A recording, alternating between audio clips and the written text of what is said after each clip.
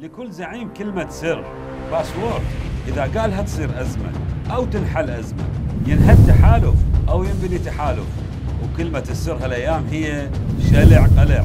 إيه شلع قلع اللي كررها زعيم التيار قبل يومين وهو ينتقد التحالف الوطني ويدعوه حتى يفكر بأسباب رفض المرجعية العليا استقبال وفده. مقتدى الصدر طالب بتغيير وجوه التحالف شلع قلع. ويا هاي الوجوه لازم تتغير سياسته الخاصة والعامة. وربط بين الشلع قلع وبين رفض المرجعية استقبالهم. وكأنه مقياس نجاح التحالف أو عدمه هو رضا المرجعية. وهاي الفكرة حاسمة. راح نأجلها لآخر التقرير. هسه خلونا باللي صار. اللي صار إنه حامد الخفاف المتحدث باسم السيستاني وضح إنه المرجعية تحمل الكتل السياسية المسؤولية أمام الشعب بإعلان تفاصيل التسوية وما تشوف أكو مصلحة بزجها بهذا المشروع. موقف واضح وينطيك انطباع إنه السيستاني دق المسمار الأخير بتابوت التسوية. وهنا لزم مقتدى بسمار لاخ ودق بتابوت التحالف اللي متبني التسوية. لكن ويا دقة البسمار أكو ذهن. سأل كتلة الأحرار. أنت يا كتلتنا العزيزة عضو بالتحالف لو طلعتي منه. جاي تماشين نبض الشارع بتصريحات زعيمك. لو هذا موقف مبدئي وتترتب عليه مواقف ضروري تعلنيها ومنها مثلا إعلان الخروج من التحالف رسميا. زين يا سيد مقتدى يا بعد رويحتي من المقصود بالدعوة لوقف التدخلات الحزبية والميليشياوية بعمل الحكومة ودعم الجيش العراقي والقوات الأمنية والمجاهدين بما يحفظ للدولة هيبتها وقوتها؟ منو المقصود؟ رئيس الوفد الأعلى اللي راح للنجف؟ لو مصداق الأخوة الأعداء اللي استقبله خامنئي أول البارحة. ليش ما تحكيها بالقلم العريض وبالأسماء؟ مو بس هاي. زعيم التيار أضاف أنه الخلافات لازم تنبذ والصدامات الطائفية تنترك. وهذا ما يصير من خلال التسوية السياسية المجهولة إنما من خلال توحيد الصف المجتمعي. أفكار حلوة بس تعال خاف نتعامل وياها بالتحليل.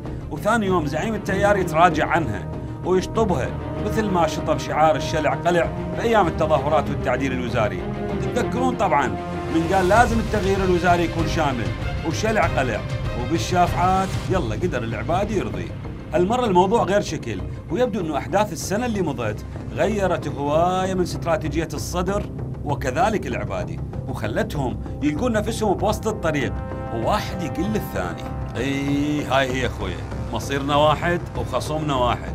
هنا نرجع للاستراتيجية اللي خطرت ببال بعض المحللين. وأهم ما بها إنه الصدر والعبادي ممكن يستبقون الأحداث بتكوين حلف. يربط قوة جماهيرية ضخمة بقوة مخملية مرضي عنها اقليميا وامريكيا. وصار لها رأس مال سياسي من انتصارات 2016 على داعش. مو شرط يطبون انتخابات سوى لكن أكيد ممكن ينسقون المواقف قبل الانتخابات القادمة ووراها. والضامن لهذا التحالف هو موقف المرجعية من التحالف الآخر. والقرينة قالها الصدر نفسه بقصد أم بغير قصد.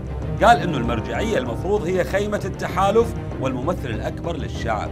وبالتالي من ترفض لقاء وفد التحالف معناها رفض الشعب لقيادات هذا التحالف. ما معناه إنه أنتم فقدتوا شرعيتكم وإحنا وياكم بانتظار موقف المرجعية من عندنا. هنا الواحد ممكن يفكر بغير منظور ويباوع على المصادفة العجيبة. تحفظ المرجعية على التسوية ورفض زعيم التيار إلها وعدم حماسة العباد. زين هل من المعقول إنه الطابوقات الثلاثة اللي لازم يقعد عليهن الجدر الجديد بدن يتوضحن؟ معقولة أكو برحم الأحداث تحالف آخر ممكن يولد؟ واطرافه هم العبادي زائدا التيار الصدري والعباءة الشرعية هي مرجعية السيستاني؟ ماكو شيء مستبعد. كل شيء ممكن بهالزمن والشلع قلع مثل الطماطة ترهم بكل الأكلات.